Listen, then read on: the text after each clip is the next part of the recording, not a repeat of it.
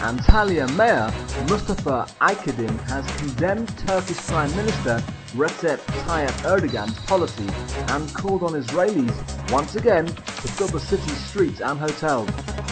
This coming after Israel lifted a severe travel warning to the country.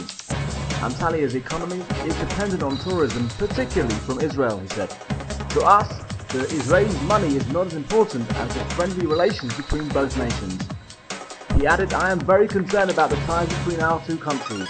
We have the strongest economies in the Middle East, and the relationship between us is crucial to the entire region's stability, he said.